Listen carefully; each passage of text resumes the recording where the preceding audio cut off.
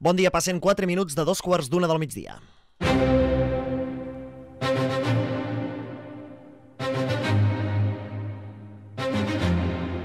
Benvinguts al resum de l'any 2012, una producció dels serveis informatius de l'Espluga FM Ràdio.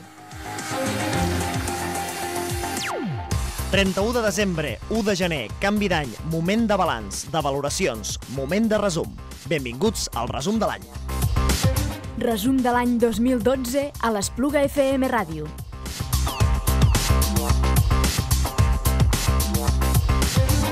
...2012, un capítol més de la crisi econòmica. Haurà estat l'any de la fi, el canvi d'etapa, en tot cas, la Conca ha viscut un any dur com els anteriors, però potser més. Podríem calcar de fet la presentació dels últims resums de l'any, encara que segurament caldria afegir-hi més intensitat. Amb el pas dels mesos, les dificultats econòmiques s'intensifiquen i arriben a més àmbits, a més persones, a més empreses, entitats i institucions. El 2012 ha estat un any dur. A l'Espluga, l'Ajuntament ha acomiadat treballadors, a la Conca han tancat empreses i els càlculs han demostrat que la pobresa creix cada dia. També creix la solidaritat, ja que al mateix temps que hi ha més gent que demana ajuda, la societat civil es mobilitza encara més per donar-la. La crisi té punts de vista negatius, però també en té de positius. Anna Garcia, molt bon dia és, per exemple, l'esforç de la societat civil per mantenir les festes i tradicions. Bon dia, Javi. Exacte, perquè el 2012 ha estat d'any d'eliminació de festes, reducció de partides per cultura, retallades a les subvencions, però la societat civil, en canvi, ha intensificat la seva activitat i s'ha mostrat més activa que mai. Només un clar exemple l'han donat entitats i ciutadans en els últims mesos volcant-se per recuperar l'Espluga FM Ràdio després de la caiguda d'un llamp als estudis de l'emissora. I està clar que sense aquest suport incondicional d'empresaris empresaris, societat civil, institucions i entitats, aquest Nadal no hauríem pogut tornar a les zones. I és que el 2012 ha estat un any, Sergi Civit, molt bon dia, eh, realment dolent per les infraestructures, eh? Doncs totalment, Xavier, es pot dir que no hi ha hagut avanços significatius. Aquest any s'havia de construir el pavelló poliesportiu i res. També s'havien d'habilitar les noves oficines d'atenció ciutadana de l'Ajuntament de l'Espluga a Cal Nicasi i tampoc ha estat possible sense l'aportació del Pla d'Obres del Govern. No hem vist avançar l'autovia A27 2017 i tampoc s'ha fet la reforma del Coll Roig prevista per la Diputació, entre moltes altres coses. Sí que hem inaugurat, però, la nova museïtzació de les coves de l'Espluga i la segona ampliació del Museu de la Vida Rural. Això sí, però, les institucions públiques han hagut de reajustar despeses i fer tot el possible per pagar els proveïdors, encara que això ha implicat decisions, Magda Boldó, bon dia, a vegades difícils. Bon dia, Javier. Doncs sí, el mateix alcalde de l'Espluga, David Rovira, reconeixia ahir al programa L'Ajuntament a Casa de l'Espluga FM Ràdio que el 2012 ha estat un any molt dur pel consistori. Aquest programa servirà per repassar precisament tot el que ha passat aquest any a l'Espluga i la Conca, també en el terreny esportiu, en l'àmbit de la meteorologia en farem un resum, però bé, de moment tanquem l'any amb les ganes de seguir informant cada dia els nostres oients. Per l'Espluga FM Ràdio ha estat un any peculiar de grans novetats, com l'estrena dels nous informatius o la nova pàgina web, però també recordarem aquest any per l'ensurt de la caiguda d'un llamp als nostres estudis. Encara que Jordina Picanyol, molt bon dia, l'equip de l'emissora seguit treballant tant com ha pogut per mantenir el servei públic. Bon dia, Javier. Doncs així és, l'equip de l'Espluga FM Ràdio s'ha mantingut actiu dia a dia per apropar l'actualitat de l'Espluga i la Conca als oients del 107.4 i als seguidors de la web esplugafmradio.cat.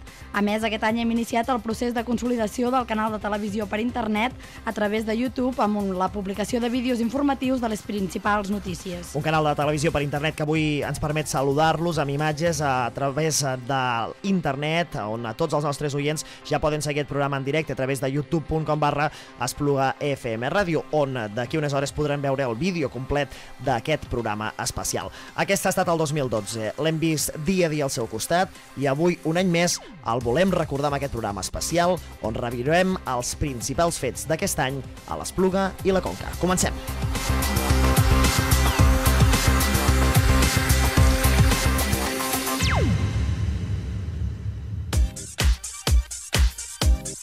Resum de l'any 2012 a l'Espluga FM Ràdio.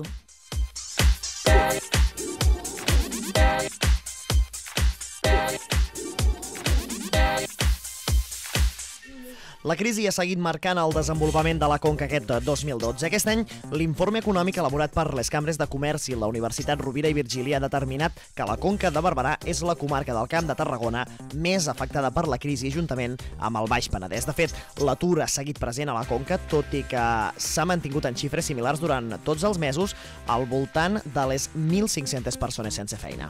Les xifres de l'atur van anar creixent a mesura que avançava l'any. A principis hi havia uns 1.450 aturats i al març es va superar el llindar dels 1.500 arribant a la cota màxima de 1.545 aquest octubre. A l'agost les feines d'estiu van, van fer baixar el nombre de desocupats fins al mínim d'aquest any, als 1.408. De fet, la majoria d'empreses de la comarca han fet importants esforços per mantenir-se, tot i que el tancament de aquestes petites fàbriques i l'acomiadament destacable de 224 treballadors d'Ormipressa Santa Coloma de Caral a causa del tancament de la planta especialitzada en estructures de formigó prefabricades per la construcció. A Montblanc, Fra Pever ha anat reajustant la plantilla encara que els treballadors van acceptar al març, en referèndum, negociar amb l'empresa un període de regulació de treball en lloc d'aplicar un ERO per fer front a la caiguda de demanda a la multinacional alemanya. 529 treballadors van votar a favor de negociar, 135 a favor de l'ERO i 29 en blanc. A l'Espluga, l'austeritat econòmica de l'administració pública ha obligat aquest any a l'Ajuntament a reestructurar la plantilla. El consistori ha acomiadat quatre treballadors municipals per reajustar la partida de personal aquest any 2012. Magda, 15 en concret. Doncs s'ha eliminat una administrativa, un guàrdia municipal, també un treballador de la brigada, la conserge de l'escola Martí Poc, i s'ha reduït la jornada un 66% a la psicòloga municipal. La decisió la va prendre l'equip de govern com a mesura de contenció de la despesa, tot i que a principis de gener havia promès que intentaria no reduir els llocs de treball. Escoltem Joan Amigó a principis d'any. Dic que, en quant al tema de treball, eh, no hem dit en cap moment que, anem, que, anem a, que hi hagi, cap, hi hagi d'haver cap acudiment a l'Ajuntament, diem que, ens, que en aquests moments ens ho plantegem tot, que pot passar qualsevol cosa, però no és voluntat de l'equip de govern fer acomiadaments. Al febrer, Joan Amigó anunciava això durant l'aprovació dels pressupostos. Aquest ha estat un pressupost Sí. eh, el pressupost més difícil i més complicat d'elaborar dels que portem des que tenim la responsabilitat de govern a l'Ajuntament de l'Espluga i a més a més un, dolorós d'elaborar perquè lamentablement eh, hem hagut de, per tal de, de quadre el pressupost, hem hagut d'afectar el capítol 1 a les despeses de personal, la qual cosa vol dir que hem hagut de modificar la, la plantilla de personal El pressupost del 2012 ha estat un dels més reduïts dels últims temps, amb només 500.000 euros d'inversió, 270.000 dels quals pertanyien a l'habilitació de les noves oficines de l'Ajuntament a la casa de Calnicasi, una obra que finalment no ha tirat endavant perquè la Generalitat no ha pagat el Pla Únic d'Obres i Serveis de Catalunya. Aquesta partida s'ha traspassat al pressupost del 2013, que serà gairebé calcat al del 2012. El pressupost auster ha implicat altres decisions dures aquest any, Jordina, a l'Ajuntament de l'Espluga. D'una banda, el consistori decidia augmentar un 57% el preu públic de la llar d'infants de la població dels 117 euros mensuals per alumne als 184. L'augment era per cobrir la retallada que ha fet la Generalitat de l'aportació que feia per cada alumne de les llars d'infants. L'aportació municipal ha passat de 49.000 euros anuals a 64.000, tot i haver acomiadat una treballadora i mitja el curs passat. També les entitats han patit aquest any, ja que el consistori ha mantingut la retallada del 40% de les subvencions, tal com va fer el 2011. Aquest any les agrupacions socials, culturals i esportives han cobrat els ajuts del 2010 i els del 2011, tots amb retard per la manca de liquiditat del consistori. De fet, per pagar les factures, al maig al ple va aprovar un crèdit especial de mig milió d'euros autoritzat pel Ministeri d'Hisenda dins el pla d'ajust elaborat per pagar les factures pendents als proveïdors fins a 31 de desembre del 2011. La manca de liquiditat i les retallades del govern han posat en dubte aquest any, a més a més, la continuïtat de l'Escola de Música de l'Espluga. Finalment s'ha aconseguit tirar endavant amb la rebaixa d'un 10% del sou dels professors i l'augment d'un 5% de les tarifes que el curs anterior ja havien augmentat un 25%. Així, l'Ajuntament ha fet front a l'eliminació de l'aportació del govern que servia per finançar el 33% del cost del centre. Aquest ha estat un pressupost eh, el pressupost més difícil i més complicat d'elaborar dels que portem des que tenim la responsabilitat de govern a l'Ajuntament de l'Espluga i a més a més un, dolorós d'elaborar perquè lamentablement eh, hem hagut de, per tal de, de quadre el pressupost hem hagut d'afectar el capítol 1 a les despeses de personal la qual cosa vol dir que hem hagut de modificar la, la plantilla de personal I és que el curs començava als centres escolars amb importants dificultats, manca de professorat i de recursos. A més, a la Conca s'ha patit amb força eliminació de les ajudes de transport escolar i menjador pels alumnes d'ensenyament obligatori, residents a les pedanies i nuclis agregats dels municipis. Al mes de juliol, el Consell d'Alcaldes de la Conca ja va expressar la seva preocupació. El sector turístic, tot i la potenciació del turisme de proximitat, els hotelers i restauradors de la Conca han notat aquest estiu una baixada del 50% dels ingressos. El president de l'Associació d'Hostaleria de la Conca, Jordi Silvestre, explicava a l'Espluga FM Ràdio que els turistes que han visitat aquest estiu la comarca han portat molts pocs ingressos en unes visites que Silvestre qualificava de baixa qualitat o de baix cost. Bueno, el balanç en aquest moment ha estat bastant dificultós, no? Vull dir, han baixat a un 50% més o menys. Hi ha hagut turisme, però de molt baixa qualitat, que bueno, per exemple, el càmping de Montblanc ha estat tot ple, però no ha reflexat a nivell de la Conca, no? Vull dir, no sortien d'allà. La comarca ha rebut aquest estiu sobretot turisme francès i de Barcelona, a més del turisme de Saragossa i de València. Un estiu que, per cert, començava a Montblanc amb l'estrena de la zona blava d'aparcament al centre històric i els aparcaments laterals de la muralla. D'aquesta manera, a la Conca ja són dos municipis, Montblanc i l'Espluga, els que fan pagar per aparcar a determinades parts de les poblacions.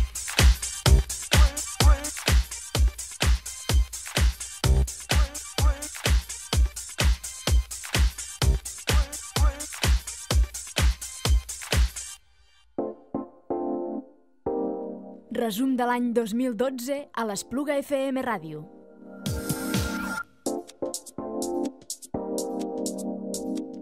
L'any 2012 ha estat difícil per les institucions, les empreses, però sobretot ho ha estat per les famílies que han hagut de viure amb menys eh, recursos. Només a l'Espluga, Càritas ha detectat un augment d'un 250% de persones que demanen ajuda. Unes xifres que vam conèixer al maig coincidint amb la recollida especial de menjar en el marc de la Marató per la Pobresa. L'augment de l'atur i les dificultats socials i econòmiques del moment han fet que actualment 70 esplugins necessitin ajuda cada mes que quan fa un any eren 20 persones. Aquest any els esplugins han recollit més de 4.000 quilos de menjar per ajudar les famílies de la població més necessitades. Davant les dificultats, hi ha hagut un sector que aquest any 2012 a la Conca ha fet importants passos endavant per assegurar-se el futur. Es tracta del sector agrari i en concret el cooperatiu. A Montblanc s'ha dissolt la cooperativa de viticultors i a l'Espluga han començat les gestions per fusionar-se amb la de Solivella. Anem a pan, Jordina. Sí, comencem per la notícia negativa, el tancament de la cooperativa de Montblanc i la dissolució que es va aprovar al gener. Al juny, l'Ajuntament de Montblanc comprava per 800.000 euros l'edifici de la cooperativa de viticultors amb els vots a favor de l'equip de govern, però amb els vots en contra de l'oposició. En total, l'Ajuntament de Montblanc adquiria tres finques que inclouen, entre d'altres, l'agrobotiga, el magatzem adjunt i el celler. L'equipament es destinarà a centre de recepció i d'acollida turística i a viver de producció de cava. Solució trobada, doncs, pel futur de la cooperativa de Montblanc, mentre les cooperatives de l'Espluga i Solivella iniciaven aquest any els passos definitius per aconseguir la fusió de les dues societats agràries abans del proper estiu. Després de la prova pilot feta durant aquesta campanya de la Brema, en què tot el raïm de l'Espluga es va processar a Solivella mitjançant un conveni intercooperatiu, les dues cooperatives ja han demanat els estudis econòmics i laborals, a més de la redacció dels estatuts per fer realitat la fusió que el mes de juny aprovaran les dues assemblees.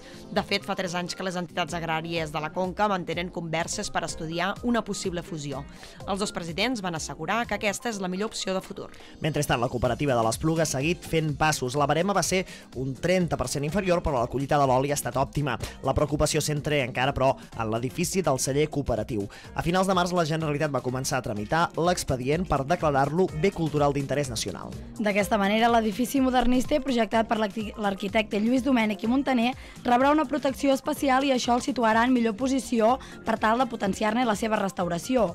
De fet, està previst que la declaració es produeixi aquest 2013, l'any de la commemoració del centenari de l'edifici. De moment, l'hivern passat ja es van fer unes obres de consolidació de la taulada de la tercera nau per evitar que caigués i la Diputació de Tarragona ja ha compromès 50.000 euros per seguir amb la restauració. Al mateix temps, aquest novembre va començar el trasllat de la Caixa Agrària de l'Espluga a la planta baixa de l'edifici de la Cooperativa Comarcal de Consum Panificadora de la població, després que aquesta entitat hagi tancat la botiga que regentava des de feia 50 anys. La cooperativa cooperativa agrícola ha signat el conveni de col·laboració amb la cooperativa de consum per poder traslladar-hi el més aviat possible les oficines de la secció de crèdit.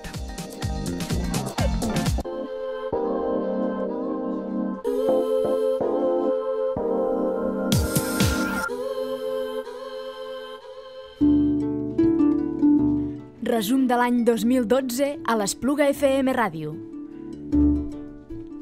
I l'empresa espluguina Cunicarn ha impulsat aquest any una renovació de totes les granges de conills de Catalunya a través d'un projecte pioner i innovador que vol aconseguir que la producció de conills creixi un 46%. Quin és l'objectiu del projecte, Magda? Doncs salvar el sector cunícola de la crisi del món agroalimentari, que ja ha provocat el tancament del 15% de les granges de conills catalanes. Al mes de juny ja s'estrenarà a Cervià de les Garrigues una granja model que servirà d'exemple pels productors que vulguin transformar la seva explotació.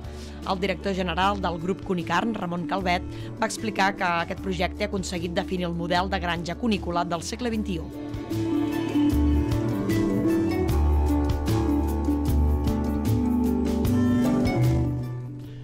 En el terreny econòmic, l'Espluga ha fet importants passos en el sector turístic aquest any 2012. En concret, s'ha estrenat la remodelació de la museïtzació de les coves de l'Espluga i també la segona ampliació del Museu de la Vida Rural. Gairebé mig any després d'haver estrenat el nou format de visita, el 9 de juny s'inaugurava la nova museografia de les Coves de l'Espluga, que aquest any han incorporat nous elements com audiovisuals i projeccions fetes en teatre virtual o hologrames, que ja que s'han enregistrat amb la participació d'alguns actors espluguins que representen escenes de la vida quotidiana dels homes prehistòrics a les Coves de l'Espluga. La renovació de les coves de l'Espluga ha estat encapçalada per l'historiador espluguí Antoni Carreres, qui ha impulsat la renovació total del discurs museístic on s'han conservat alguns elements antics com les figures que recreen escenes del paleolític i neolític o les eines troballes de la conca de la, font, de la cova de la Font Major que es poden veure al final del recorregut. També al mes de juny el Museu de la Vida Rural inaugurava, coincidint amb els Premis Baldiri Reixac, la segona ampliació de l'espai expositiu, dos anys després d'estrenar el nou edifici, que suposava una reforma de tota la museografia. El conseller de Cultura de la Generalitat, Ferran Mascarell, va tallar la cinta inaugural. I us ho dic sense voluntat de fer retòrica. Aquest és un museu extraordinàriament important pel nostre país i extraordinàriament ben fet i voldria assenyalar la importància que té pel nostre país per dues raons, dues raons principals, si volen. La primera, pel que vostès poden veure i pel que nosaltres podem veure. Aquest és un magnífic museu sobre el món pagès, sobre el món rural. És un magnífic museu sobre un món que, a diferència del que sovint es diu, està ben viu en la nostra societat. El segon nou edifici del museu permet disposar d'un espai per l'exposició de carros, aules i tallers, una cafeteria i l'arxiu històric de Lluís Carullà.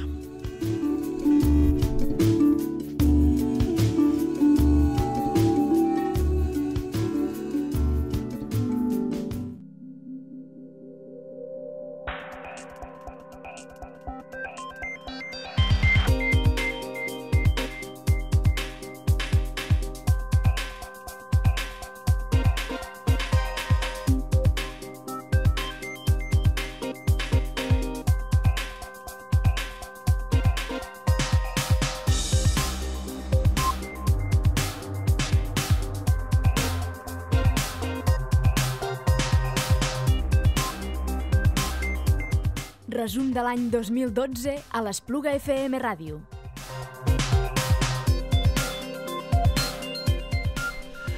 Aquest any 2012 les infraestructures espluguines han estat també marcades per l'economia i és que són ben poques coses les que s'han pogut fer. Aquest any, segons les previsions d'anys anteriors, hauria d'haver començat, per exemple, la construcció del nou pavelló de l'Espluga, que en aquest cas, Sergi Civit, no ha estat així. Doncs no, durant el maig l'Ajuntament va decidir no rebutjar les obres del pavelló per no perdre la subvenció, tot i que l'alcalde de l'Espluga va assegurar que mentre el govern no assegurés la seva part d'aportació, que pujava un milió d'euros, no començarien les obres. Eh, jo he dit abans que, que les circumstàncies econòmiques han canviat de fa dos anys en ara, han canviat d'una manera molt important. I això ho sabem tots. I qui ho, qui ho vulgui veure ho veu i qui no vulgui veure no ho veu. Per tant, el que, el que es va dir fa dos anys amb temes econòmics que tenien una, una despesa econòmica, el seu, la seva manera de finançar-les ha canviat. I aquí està el problema. Nosaltres, què més voldríem nosaltres que tindre la, la, la disponibilitat econòmica per fer el pavelló, per arreglar el que tenim, per, fer, per arreglar el camp de futbol? Què més voldríem? Després d'un temps sense saber res del pavelló, finals de setembre, David Rovira, l'alcalde de l'Espluga, va anunciar que l'Ajuntament s'estava plantejant convocar entre els espluguins una consulta sobre la viabilitat o no de construir el nou pavelló, ja que al consistori se li feia difícil decidir entre la forta despesa del pavelló i després haver-lo de mantenir o potser utilitzar els diners per tal d'arranjar les actuals eh, instal·lacions esportives. Com van rebre la proposta dels espluguins, Sergi? Doncs els espluguins van rebre la proposta amb bons ulls, encara que alguns recordaven que si Convergència i Unió ja ho va veure, ho va preveure, podem dir, al seu programa electoral, i aquest va guanyar, el projecte ja va quedar mm, refrendat. Els partits de l'oposició van retraure al grup de Convergència i Unió que dubtés sobre la viabilitat de construir un nou pavelló poliesportiu quan era una de les propostes estrella del seu programa electoral. Veureu què acaba passant aquest 2013 en aquest sentit. Ara bé, durant l'any 2012 la brigada municipal sí que ha anat fent millores, en aquest cas a les instal·lacions del pavelló del Casal, eh, des que va passar a ser municipal. Doncs sí, amb alguns eh, racons i en especial les parets i baranes eh, es trobaven en mal estat. A més, durant aquest 2012 l'Ajuntament de l'Espluga ha adequat les pistes de tennis pintant els desperfectes de les valles i col·locant una nova xarxa. També s'ha eliminat la valla que separava la zona de la pista de futbol amb la zona del casalet. A principis de febrer, el rector de la parròquia de l'Espluga, mossèn Josep Maria Pairot, va alertar del perill de l'estat estructural de l'Església Nova. Bé, el problema s'ha greujat en les últimes setmanes d'aquest any, després de la caiguda d'un fragment d'escultura de l'evangelista Marc a la base del cimbori de l'edifici neoclàssic. Anna Garcia, eh, què és el que va passar, sobretot aquests últims dies? Doncs aquests desprendiments van posar al descobert una esquerda que afecta la part estructural del sostre i això va activar l'alerta de la parròquia de Sant Miquel Arcàngel, que va tancar l'accés a la porta central de la nau, encara que hi manté la celebració dels funerals fora de la zona restringida. El Bollugàs i a les esquerdes. I això pot ser, pot ser que d'aquí quatre dies torni, perquè si plou estan perduts. Millor que no plogués, que s'asseca tot, però si plou se tornarà a mullar i aleshores tornarà a haver, tornarà a haver moviment. Clar, aleshores això és d'una envergadura fatal. És, és, és, que vols fer una església així. I què és el que pensa fer, doncs, en la parròquia? Doncs el rector, Josep Maria Peirot, va assegurar que l'entitat no podrà assumir la forta despesa que això ocasioni i que probablement haurà de tancar definitivament el temple. Jo ho veig molt malament, perquè van dir que això una, serà un, una despesa tremenda, perquè van començar a llogar, s'hauria una grua, a dintre, que anés fins dalt, fins dalt. I aquests quatre evangelistes s'han de fer uns forats, s'ha fet lligam, no sé què van dir, no entenc, quan s'ha de lligar tot i s'ha d'amassar tot. Imagina tu, n'hi ha un, dos, tres, quatre. D'arreglar-la no ho faré, jo no ho faré. Que aquí hauria d'haver una, una gent que es mogués, la gent del poble, alguna gent, no sé, i, i, i també l'alcaldia, no, perquè l'alcaldia no, no, ni m'ha preguntat a veure què ha passat aquí, eh? no m'ha preguntat tampoc, i deu saber, suposo. Amb tot això, la parròquia de l'Espluga tanca l'any amb el deute del constructor que va dur terme les obres de l'Església Vella, que encara avui és de 7.000 euros dels 170.000 que van costar les obres. Durant aquest any el projecte de la llei de barris també ha continuat sent notícia i és que s'han donat per acabats els treballs de reconstrucció de les dues cases del Capuig de l'Espluga que l'Ajuntament vol eh, habilitar per la ruta templera i hospitalera. El projecte, el projecte vol suposar la restauració de dos edificis on es recrearan diferents oficis i èpoques històriques com el vitraller o el cal jueu. Joan Amigó, el regidor de Serveis Municipals, ho explicava així. Les, de les dues cases de la llei de barris que, que, està, que està ben fet, l'obra de plateria està acabada, una està pintada ja també i l'altra s'està pintant aquests dies i bé, estan a punt d'acabar les cases. Els paletes, com que han acabat l'obra aquesta, eh, el, que, el que fem ara és el carrer que va del el tros de carrer que, que baixa des del carrer Penitents fins a, a, a la baixada del castell, a més, durant el mes de juliol es va inaugurar el MICB, la instal·lació de la il·luminació ornamental que il·lumina la muralla medieval i les balmes de la roca.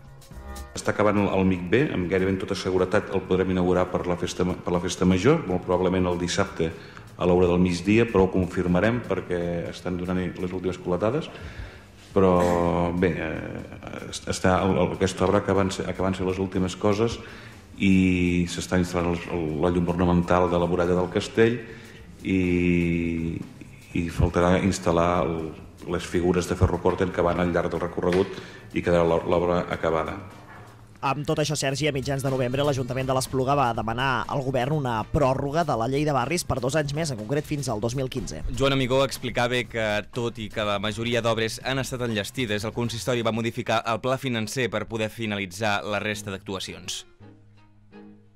Dir també que la llei de barris hem demanat, eh, com sabeu, eh, la Generalitat permet demanar, quan arribes al final, demanar una pròrroga de, de la llei de barris, si, si encara queden actuacions per fer, nosaltres eh, aquest mes d'octubre hem presentat la documentació per demanar la pròrroga de la llei de barris, que en principi s'allargaria dos anys més, el 2014 i el 2015, per tal de poder acabar les actuacions que queden. Una d'elles hem modificat el pla financer també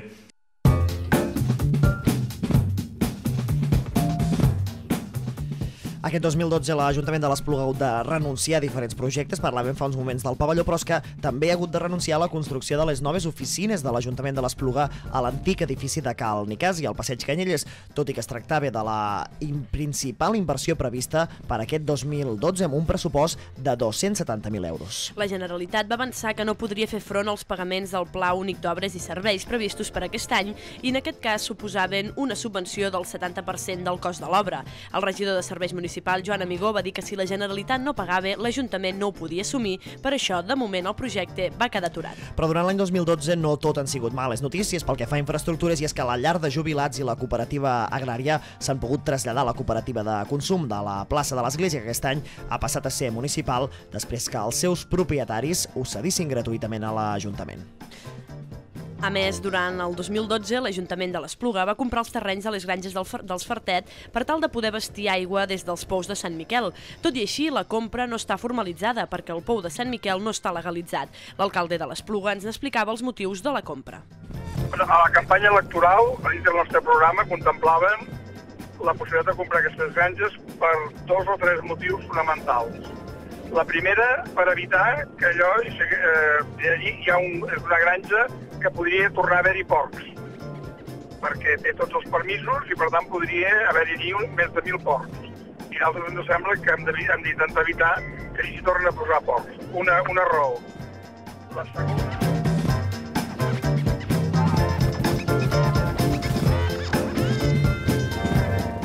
A nivell comarcal també hi ha hagut diversos moviments pel que fa a les infraestructures eh, durant aquest 2012. No n'hi ha hagut gaires, però els que hi ha hagut han estat importants. Repassem-los. Comencem, Sergi, per Vimbodí. Comencem per Vimbodí. Aquest any ha estrenat el nou pont de la carretera TB 7002 després de mesos de treballs per construir-lo sobre el riu Milans. La infraestructura permet salvar un tram amb un revolt pronunciat i estret en aquesta carretera que uneix el nucli de Vimbodí amb el monestir de Poblet. A principis de febrer es van col·locar les sis vigues que donen forma al pont i des de llavors fins al setembre es van anar fent les tasques d'arranjament, pavimentació, adaptació dels accessos a través d'aquesta carretera en una obra que va tenir un cost d'un milió i mig d'euros. Lluís Grau destacava la importància del pont per la població de Vimbodí. Les comunicacions sempre són importants per, per, per qualsevol municipi, no? però a part de, de, de poder ser més visible al municipi, també comunicar millor el que és el monestir. Evidentment, no, no, no ens oblidem de que, de que, de que sí, que serà així, que, que el municipi doncs, possiblement eh, tingui més afluència de, de, de turisme. La primera fase del projecte també va incloure la construcció d'una rotonda a l'encreuament entre les dues carreteres de la zona, facilitant així els accessos tant a la carretera de Poblet com al nucli de Vimbodí i a la carretera que enllaça Vallclara i Vilanova de Prades. La construcció d'aquesta rotonda va suposar l'enderroc de les restes de l'antiga fàbrica d'Apsa. Però aquesta no ha sigut l'única novetat a Vimbodí i Poblet i és que aquest any s'han desenvolupat les obres de construcció de la planta baixa i la primera planta de l'Ajuntament, on s'han habilitat les oficines d'administració per poder oferir un millor servei als ciutadans. I Montblanc aquest any ha pogut estrenar la nova plaça de Sant Francesc, eh, que va quedar, de fet, enllestida eh, just començar la setmana medieval de la població. A més, les excavacions arqueològiques que es van fer al voltant de l'antiga església de Sant Francesc van permetre descobrir espais de l'antic convent franciscà que endoblaven la superfície fins en aquell moment coneguda. Precisament, Anna, l'Ajuntament de Montblanc ha donat aquest any per finalitzada la primera fase de la posada en marxa del projecte Montblanc Wi-Fi, que dota d'accés a internet gratuït als principals espais públics de la població, no? Els montblanquins ara poden connectar-se a internet a través través de punt d'accés wifi ubicats a l'interior de diversos equipaments municipals i en diversos espais públics de la vila, com la plaça Major, la plaça de Sant Francesc, la zona al voltant de la biblioteca, la zona esportiva, la plaça Poblet i Teleixidor, la plaça Catal Catalunya i la plaça de l'Església de la Guàrdia dels Prats. I la 27 aquest any ha tornat a ser notícia més d'una vegada, no precisament per bones notícies. A principis d'any eh, ens vam assabentar que la construcció de l'autovia entre Tarragona i Montblanc hauria d'esperar novament. Els pressupostos generals de l'Estat només preveien inversió al tram de la 27 entre Tarragona i el Morell i, en canvi, pels trams fins a Valls i Montblanc només s'hi van destinar unes partides testimonials que no han permès seguir amb les obres. Justament l'alcalde de l'Espluga, David Rovira, es va sumar a les protestes en contra d'aquest ajornament de l'autovia 27 i va qualificar d'autèntica vergonya la decisió, ho va atribuir de fet a una decisió més aviat política del govern espanyol i no pas econòmica. El Consell de Cambres de Comerç de Catalunya també va reclamar a l'estat espanyol que construís de forma urgent l'autovia 27 entre Tarragona i Lleida. Les 13 cambres catalanes van signar un manifest a favor de la 27 que es va enviar a la ministra de Foment, Anna Pastor, amb l'objectiu de que el govern espanyol agilitzés l'execució d'aquesta infraestructura.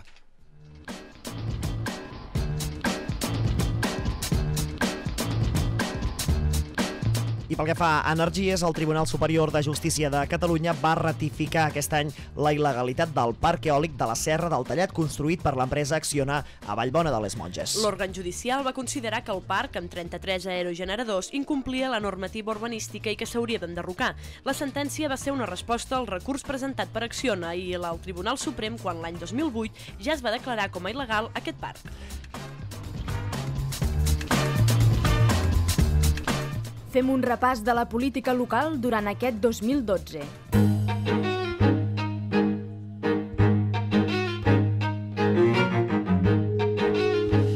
Acabem la primera part d'aquest resum de l'any 2012 parlant de política. Enguany la política ha estat marcada sobretot per les eleccions al Parlament de Catalunya del 25 de novembre i això, Sergi, ha repercutit també en els polítics de la nostra comarca. Doncs sí, a l'Espluga, la regidora d'Espluguina de, i portaveu a l'Espluga i a la Conca de Solidaritat Catalana per la Independència, Laura Ruiz de Porres, va ocupar el setè lloc a la candidatura de la formació a la demarcació de Tarragona. Per la seva banda, la regidora d'Espluguins Independents a Cor Municipal, Antònia Sánchez, va formar part de les llistes d'Esquerra per Tarragona, tot i que cap d'elles va ser escollida diputada. Sánchez, que també és consellera comarcal, va acompanyar l'alcalde de Montblanc, Josep Andreu, que va ser en aquest cas el candidat de la Conca de Barberà i cap de llista d'Esquerra Republicana a la província de Tarragona. En aquest cas, Josep Andreu sí que va ser escollit diputat al Parlament. Resum de l'any 2012 a l'Espluga FM Ràdio.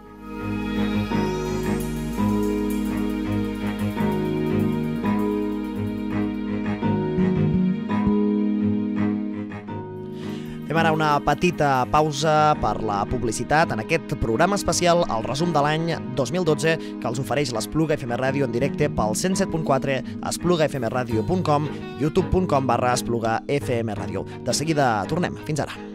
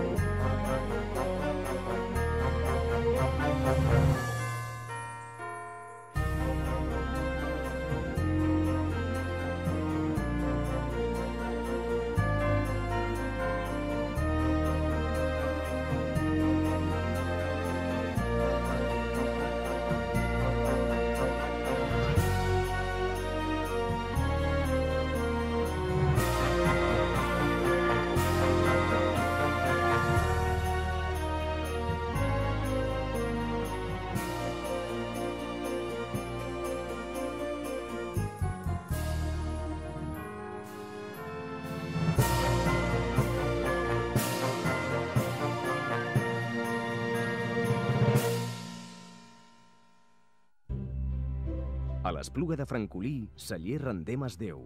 Elaboradors de vins des de 1994. Hereus de l'apòstol del cooperativisme Josep Maria Rendé i Ventosa. Avui, treballem sobre la base d'aquesta tradició i de la modernització de plantacions, processos i instal·lacions. Cultivem els nostres ceps seguint les pautes de l'agricultura ecològica. Vine al nostre celler i descobreix com elaborem els nostres vins ecològics. Tasta'ls i emporta't a casa les sensacions d'un paladar enfortit amb aromes de la Conca de Barberà. Celler Rendem es Déu. a l'Avinguda de Catalunya 44 de l'Espluga de Francolí. Al 977 871 361 i a randemasdeu.cat. Coneixem els pneumàtics, els frens, coneixem els vidres i el motor, coneixem la suspensió i tota l'electrònica. Cal Nicolau. Al taller mecànic al Nicolau coneixem el teu cotxe a la perfecció. Confia en nosaltres el manteniment o les reparacions del teu vehicle. Cal Nicolau, servei professional a prop de casa. Ens trobaràs al carrer Lluís Carulla número 36 de l'Espluga de Francolí. Cada divendres trobaràs al teu quiosc el setmanari Nova Conca. Fes una repassada de les notícies i esdeveniments més importants que han succeït al teu voltant. Nova Conca, el teu mitjà comarcal de referència.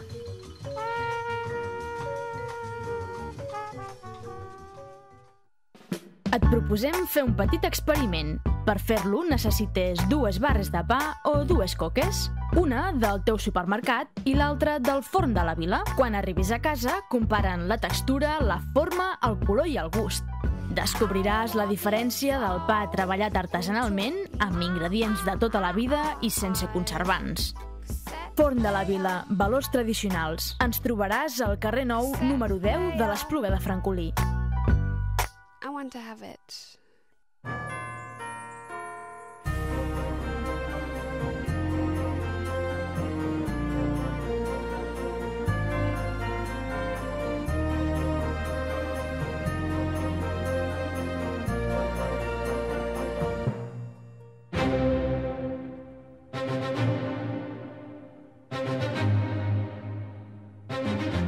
Resum de l'any 2012 a l'Espluga FM Ràdio.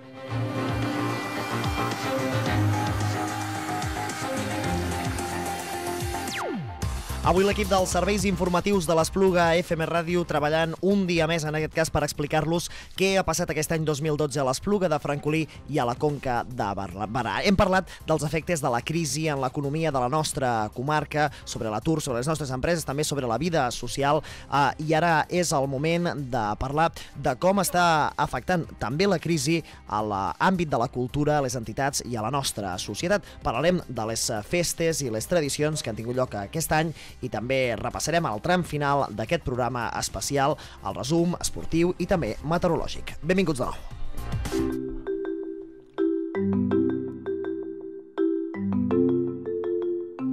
La cultura i les entitats aquest any 2012.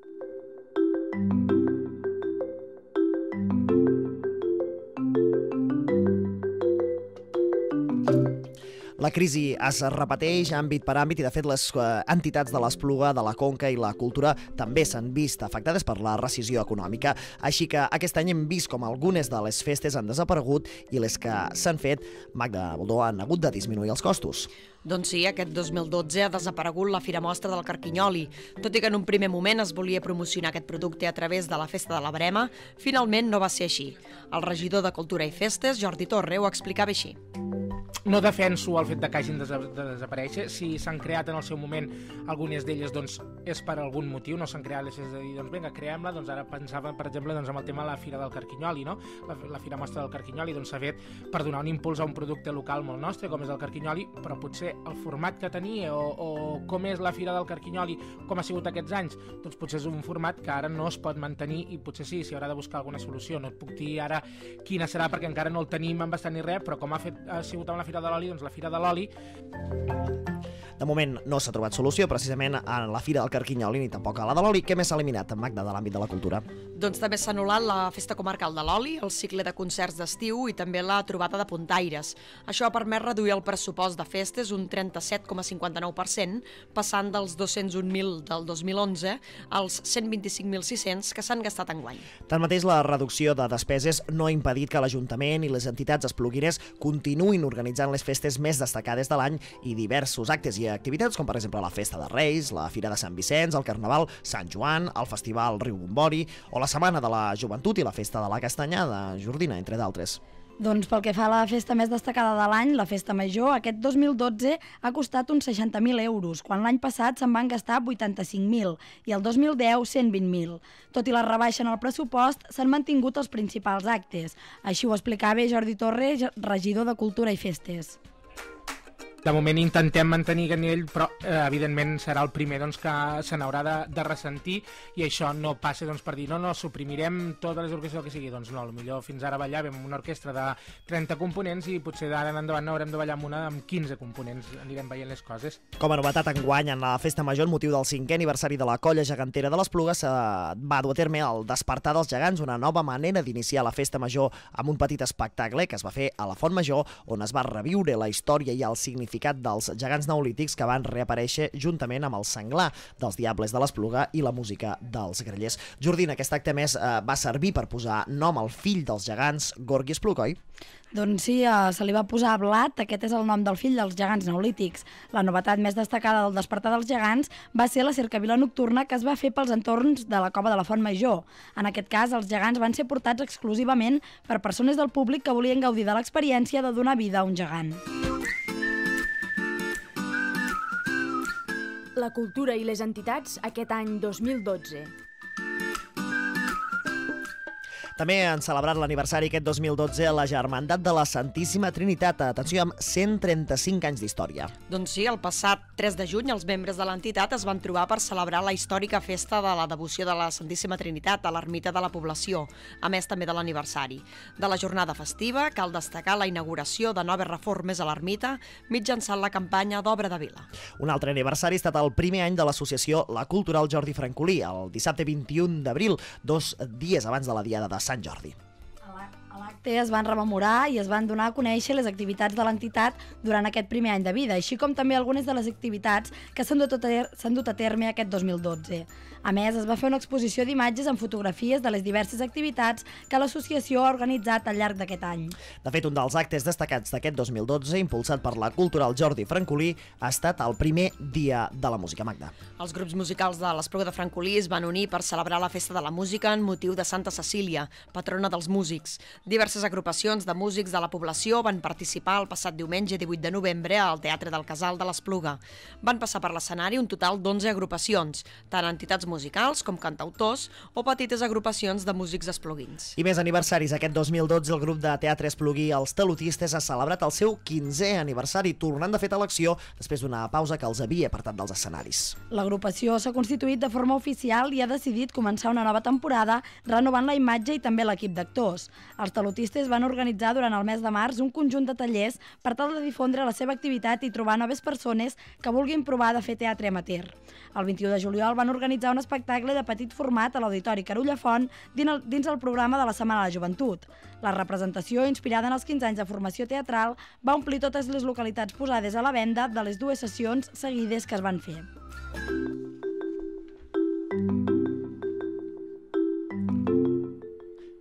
I en altres entitats hi ha hagut eh, canvis. Eh, és el cas de l'Orquestra Simfònica Treu-li la pols al teu instrument, que va començar al maig una nova etapa amb un nou director. Uh, pues, bueno, va, vaig, uh, jo que vaig contactar amb ells perquè vaig saber que estaven sense director i bueno, vaig pensar que era, que era un projecte molt guapo i que no es podia acabar així. Vam veure que em feia molta il·lusió i que tenia moltes ganes i, i bueno, tot va, van, van discutir ells en junta, no? Eren paraules del flautista menorquí Borja Moll, que de forma altruista, altruista volem dir, ha assumit la direcció d'aquest projecte musical de la Conca de Barberà, en substitució del violinista Josep, Josep Colomer, fundador de l'orquestra, que ha deixat el càrrec després d'abandonar també la direcció de l'Escola Municipal de Música. Actualment, eh, Treu-li la pols al teu instrument, compta amb una quarantena de músics i es troba a la quarta temporada, amb l'objectiu d'iniciar el cinquè any d'assajos i concerts.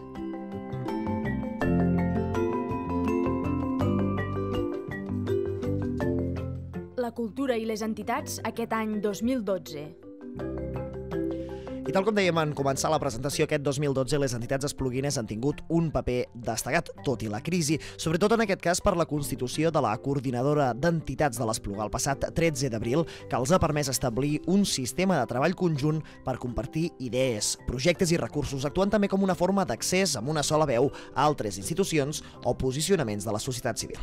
La intenció de la coordinadora és aglutinar totes les entitats de l'Espluga i per això, després d'un procés de maduració i converses amb totes les agrupacions de la vila, es va crear aquest òrgan simbòlic i funcional que a partir d'ara les representarà davant la societat i les institucions.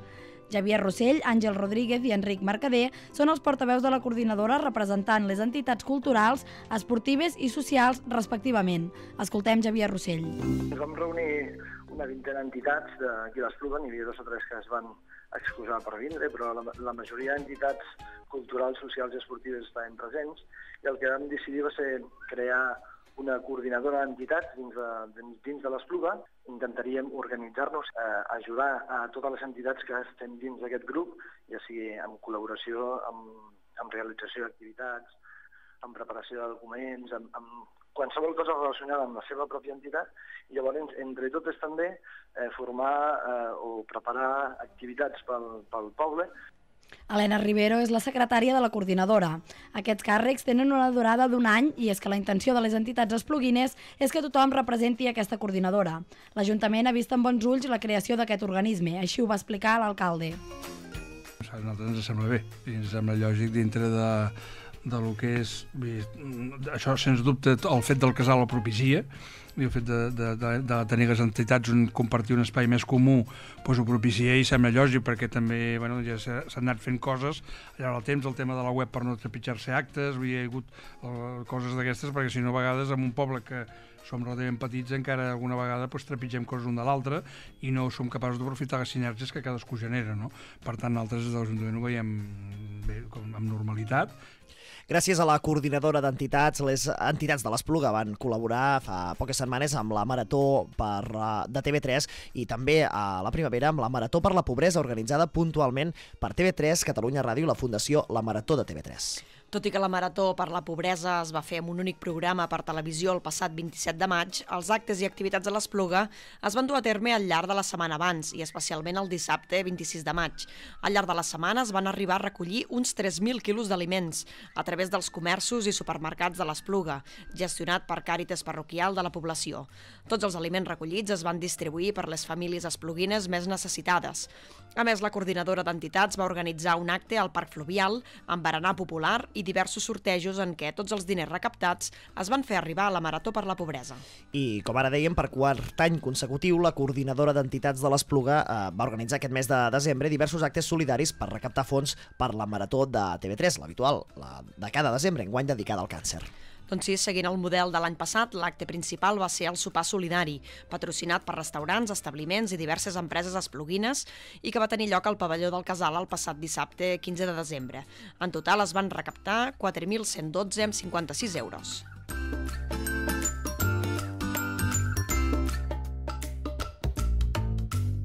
Però aquest any les entitats de l'Espluga s'han vist afectades per la crisi, ja que, per exemple, com a novetat, s'han hagut de traslladar elles mateixes el material cedit per l'Ajuntament de l'Espluga per l'organització d'actes i esdeveniments. Com ha anat això, Jordina? Doncs fins ara se n'ocupava directament la brigada municipal, que a partir d'ara només s'ocupa de lliurar el material i rebre'l al magatzem del carrer Joan Maragall. I aquest, aquest sí es va portar, però a partir d'enguany l'equip de govern va prendre la decisió de que el material que es per les festes de les diferents associacions se l'han de venir a buscar al, en el magatzem del casal i després el, el dilluns han de tornar. No pot ser que ens passem els mesos de juny, juliol, eh, portant, el, el dilluns portant, el divendres portant material i el divendres i el dilluns anant, anant a recollir i entenem que, que la brigada té altres feines, la brigada també eh, l'hem reduït d'una persona, en aquests moments en tenim dues de baixa, és a dir, que la, la brigada té en aquests moments tres persones menys que l'any passat, L'alcalde de l'Espluga, David Rovira, va enviar a finals de maig una carta a tots els representants d'entitats i associacions de la vila comunicant-los que si bé l'Ajuntament seguirà deixant tot el que sigui tot el que estigui al seu abast, les entitats s'han de fer càrrec del trasllat. La petició s'ha fet per escrit mitjançant carta o correu electrònic i, un, i, una autoritzada, i un cop autoritzada la cessió del material, l'entitat s'ha de posar en contacte amb el cap de la brigada. Sigui com sigui, les entitats de l'Espluga mostren una bona salut i van treballant dia a dia per fer de la nostra població un lloc de referència. És per això que algunes entitats ja miren cap al 2013 i tenen previstos nous projectes, com és el cas de l'agrupació d'armats de l'Espluga, que està organitzant la 17a trobada d'armats de, les de les comarques meridionals que ve l'Espluga segurament que serà la, la propera de la- la- de dels armats de la Conglomeració de Tarragona, serà la propera, la 17a trobada d'armats de, la, de la província de Tarragona, llavors l'Espluga de Francolí segurament que serà la propera. Al setembre té que fer una reunió per acabar d'aclarir quatre punts, llavors a partir del setembre nosaltres ja us informarem perquè sigui eh, excluït a tothom, no? Eren paraules de Jordi Salvador, representant dels Armats de l'Espluga. La població assumeix així, a través de la confraria del Sant Enterrament, el repte d'organitzar una festa que tenia en risc la seva continuïtat, ja que per la manca de pressupost l'any passat es va dissoldre la coordinadora de grups d'armats de les comarques de Tarragona. Finalment, les colles tarragonines han acordat tirar endavant l'esdeveniment, fent però importants canvis que afecten sobretot el finançament de l'acte. La trobada, que plegarà més de 600 armats, es farà el diumenge 17 de març del 2013. El model d'austeritat que s'aplicarà a l'Espluga serà exemple també per les poblacions que ja s'han compromès a un relleu.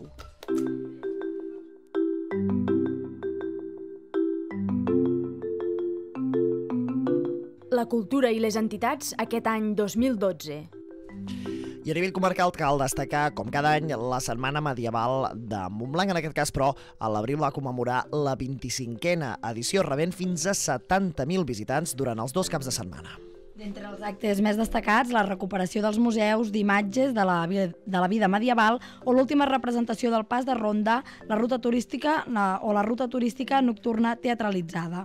L'estrena de la nova plaça de Sant Francesc ha estat un important revulsiu per aquest any, ja que ha permès celebrar noves activitats, moltes de les quals en homenatge a totes les persones que s'han implicat a la festa en aquests 25 anys. Aquesta 25a edició va venir marcada, malauradament, per l'anul·lació, però, de la representació de la llegenda de Sant Jordi a causa de la pluja. Finalment, però, el 16 de juny, l'Associació Medieval de la Llegenda de Sant Jordi va representar la llegenda a la plaça de Sant Francesc amb un espectacle de petit format. Així ho explicava el llavors president de l'Associació Medieval, Joan Roig. El, el format doncs, serà, serà diferent, eh, perquè evidentment el que no volem fer és una representació de la llegenda, sinó eh, bueno, a- acabar el que diguem, el, el temps ens va deixar, no? i una miqueta doncs, fer un acte amb un format una mica diferent i que els protagonistes d'aquest any doncs, puguin desenvolupar els seus papers perquè bueno, una de les raons doncs, ha sigut eh, això, no? i també sent la 25a setmana medieval que es quedés sense diguéssim, un mínim de representació de la llegenda, doncs eh, seria greu llavors. De moment també cal destacar el cicle d'activitats eh, de tardor de la capital de la Conca. Com va començar aquest cicle, Magda? Doncs al setembre es va donar el tret de sortida al cicle amb el desè Festival Internacional de Ceràmica Terrània. Aquest 2012 s'ha tancat edició amb una davallada del 22% de visitants, arribant a les 7.000 persones de les gairebé 9.000 que van visitar la fira el 2011. Segons Ariadna Ferrer, regidora de Turisme de Montblanc, el festival ja està consolidat. I en aquest moment podem dir que aquest esdeveniment ja s'ha convertit en un referent cultural, artístic i turístic. És una fira pionera, eh, perquè no tan sols és una fira en què es tracta de vendre ceràmica, sinó que plega tot tipus de ceramistes de Catalunya, de l'Estat i d'arreu d'Europa. Fins i tot enguany, per exemple, en tenim un eh, que ve del Japó.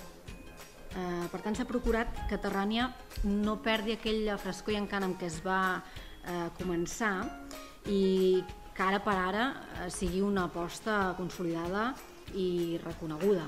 Ha sobreviscut a l'èxit que ha anat augmentant, els primers cinc anys van augmentant de visitants, van augmentant de participants i en aquests moments de crisi o moments difícils en què actualment ens trobem, sobretot les administracions, però també els ceramistes, també tot, tot, aquest eh, sector, doncs ja es pot dir que és un èxit haver-ho consolidat i continuar fent aquesta fira arribant al desè any, no? el desè aniversari, que bueno, per nosaltres és, un, és una data important, és una fita important. Pel que fa al volum de negoci, ha baixat des dels 21.000 euros de l'any passat als 16.000 d'enguany. En tot cas, la Fira ha commemorat el seu desè aniversari amb una exposició commemorativa de les peces adquirides per l'Ajuntament de Montblanc al llarg d'aquests 10 anys i amb diverses activitats paral·leles com a principals novetats.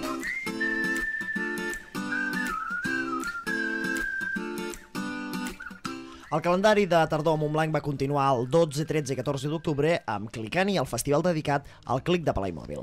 Enguany ha rebut més de 15.000 visitants que han pogut veure una extensa exposició de clics de 500 metres quadrats amb diferents diorames temàtics, jugar en un espai multimèdia o participar al concurs de diorames. I el primer cap de setmana de novembre, les activitats de tardor es van complementar amb la cinquena edició de la Fira de Sant Martí basada en la gastronomia de productes agroalimentaris de la Conca, amb diversos tallers, demostracions en directe càrrec de diferents restaurants conquencs i també sortejos i xerrades.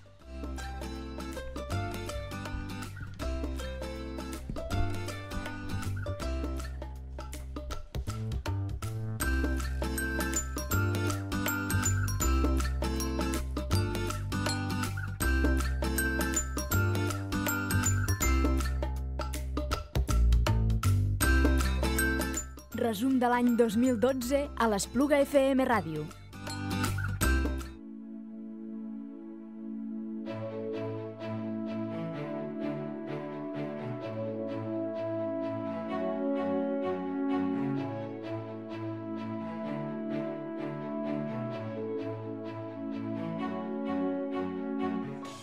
El 2012 ha estat un any molt intens per aquesta casa, per l'Espluga FM Ràdio. Tot i començar l'any molt positivament, l'hem acabat amb una mala notícia, la de la caiguda del llamp a la nostra emissora, tot i que just fa uns dies, amb la marató radiofònica, vam poder sentir el caliu de tota l'Espluga i la Conca. En aquest resum de l'any, és ara moment de repassar la trajectòria de l'Espluga FM Ràdio durant aquest any 2012.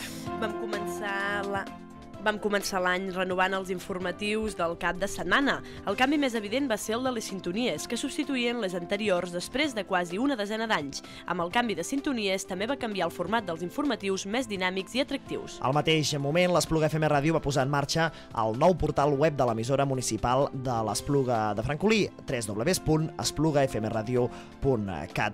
Ah, el nou portal incorporava un format dinàmic i modern creat pels espluguins Sergi Civit i Jordi Sabater. Les notícies s'incorporaven d'una forma fàcilment consultable amb diversos elements atractius com arxius de so, galeries d'imatges o vídeos a través del canal youtube.com barra espluga FM Radio. A més, les notícies es cataloguen per temàtica i això permet delimitar les preferències dels lectors. Al final de la pàgina s'incorpora l'agenda social i cultural de l'Espluga i també la de la Conca.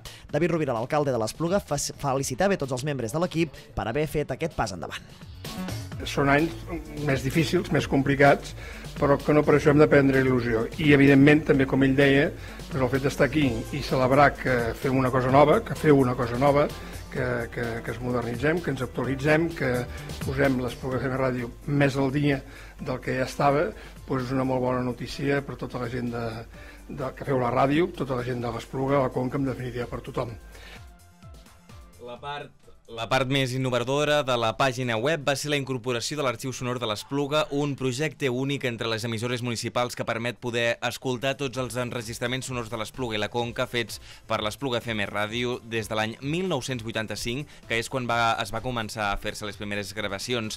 L'arxiu sonor incorpora un cercador que permet trobar enregistraments de programes de ràdio, actes culturals i socials, també inauguracions, plens municipals, informatius i publicitat de tots els anys.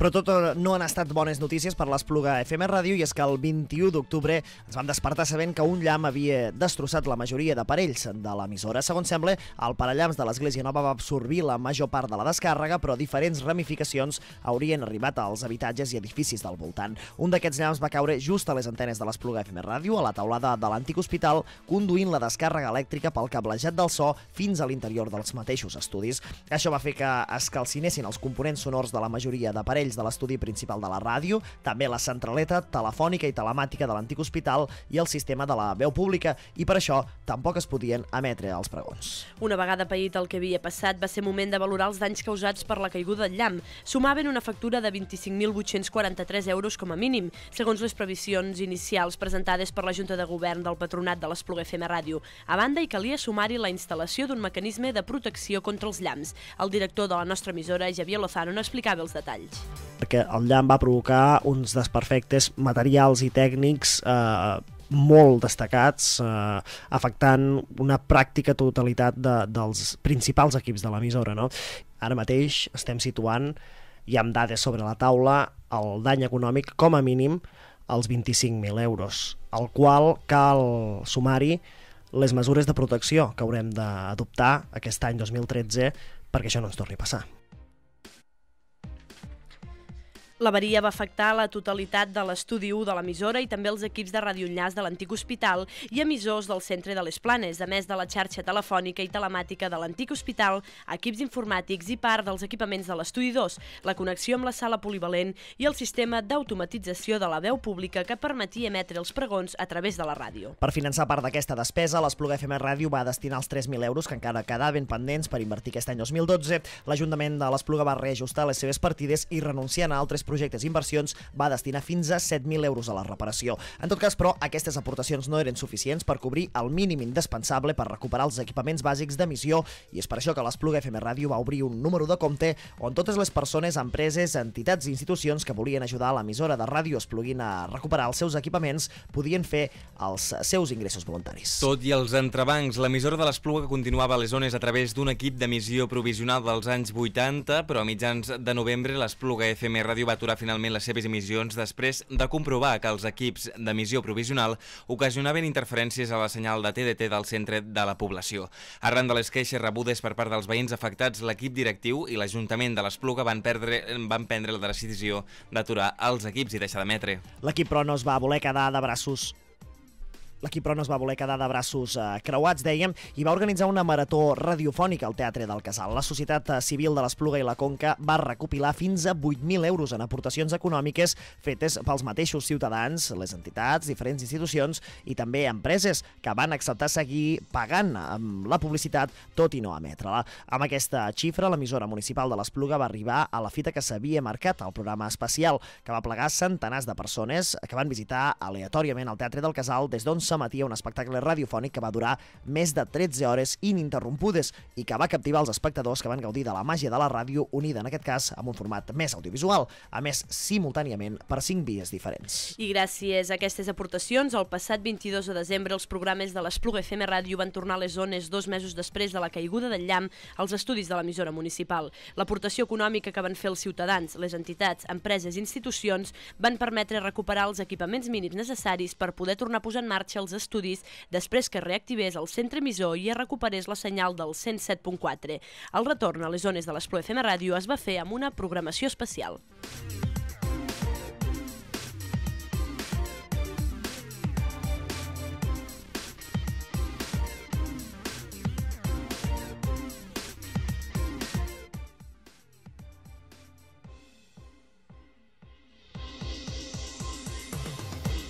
Resum de l'any 2012 a l'Espluga FM Ràdio.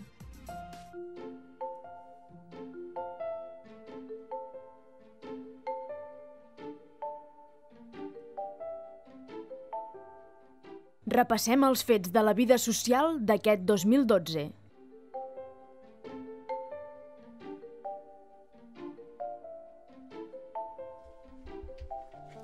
Comencem ara l'espai de societat a nivell local i comarcal. Des de mitjans de gener, els llibres sacramentals de l'arxiu parroquial de l'Espluga es poden consultar a través d'internet. Ja per internet, connectant, ho pot tenir cada moment, no cal que vinguin aquí, que demanin hora, que diguin això, que, que jo no hi soc, etc. És, és un avantatge, això. Paraules de mossèn Josep Maria Pairot eh, parlant precisament d'aquesta digitalització dels llibres sacramentals. L'Arcabisbat de Tarragona els ha publicat a la seva base de dades digital accessible a través del portal www.ahat.cat, on també es poden consultar tots els arxius de les parròquies de Tarragona que han estat digitalitzats. De fet, també van posar a la xarxa els llibres sacramentals de les diferents parròquies de Barberà de la Conca i Vimbodí, que des de finals de març es poden consultar a la mateixa pàgina web. Sense deixar de banda els temes religiosos, la comunitat islàmica de l'Espluga va reprendre les activitats a finals de gener al seu local de la plaça d'en Canós, després d'estar clausurat durant un any, de manera voluntària, davant el conflicte que va enfrontar l'agrupació amb l'Ajuntament de l'Espluga. Reixit Botari és el líder espiritual. Hem tingut una reunió amb el senyor Rovira, s'ha quedat tot molt clar, i clar, hem tornat a obrir la porta una altra vegada. A principis de març vam conèixer que el nombre de persones estrangeres immigrades que viuen a la Conca de Barberà va disminuir un 2,8% en el 2011. Segons dades de l'Institut Català d'Estadística de Catalunya, a la comarca hi viuen 2.687 immigrants, que representen el 12,6% del total dels habitants de la comarca.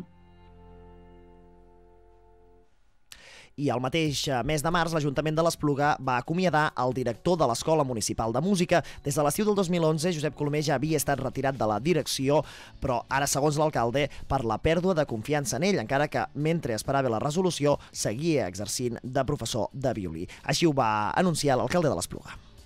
Pues una altra oferta i al final doncs, van posar d'acord les dues parts per rescindir el contracte.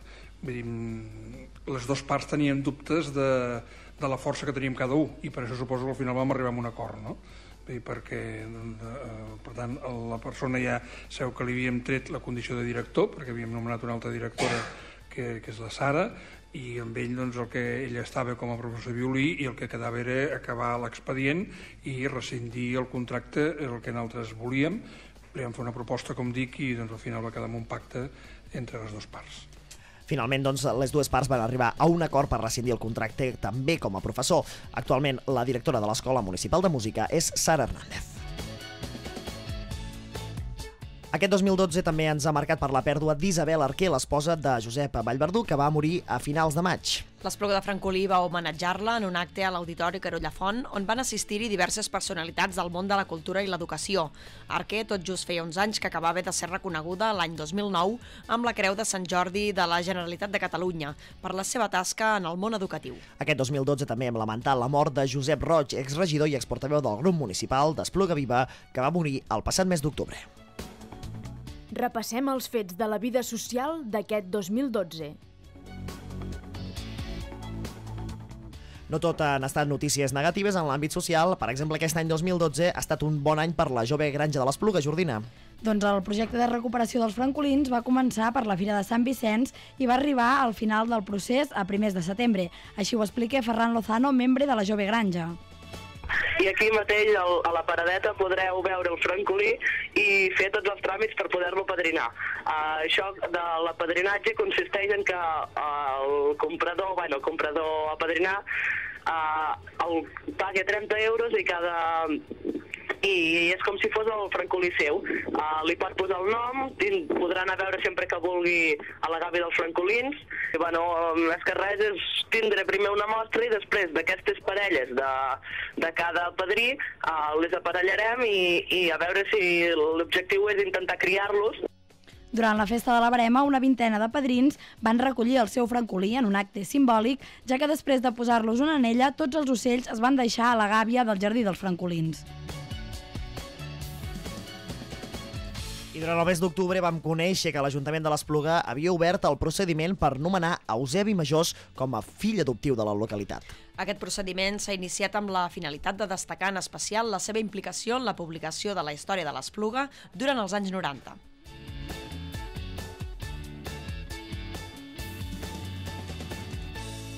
I repassem altres efectes eh, en el terreny social de la crisi econòmica. De fet, aquest 2012 ha estat marcat per les retallades en el sistema sanitari que han afectat a la Conca. En concret, s'ha reduït un 4% l'activitat a les urgències nocturnes al Cap de Montblanc. A causa d'això, l'Hospital Pius de Valls ha tingut un augment moderat del 2,5% de l'activitat d'urgències. Això es deu a la nova coordinació entre els serveis d'emergències.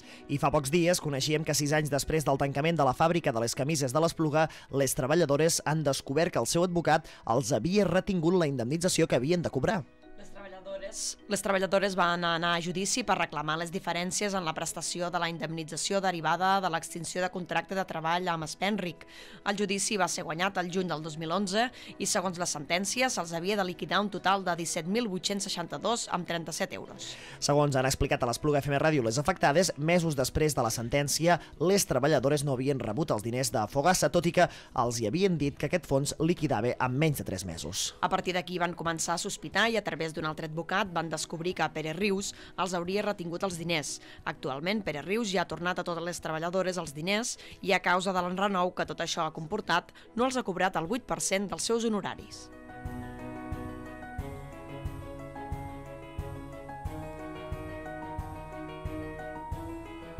I en l'àmbit de la societat d'aquest 2012 en destaca el Pla Pilot per la regulació dels bolets, conegut com a carnet del boletaire.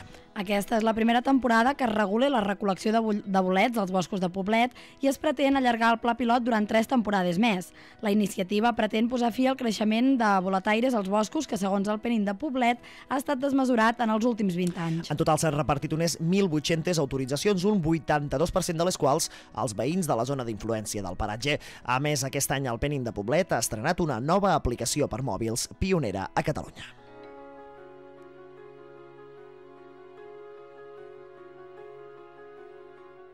Resum de l'any 2012 a l'Espluga FM Ràdio.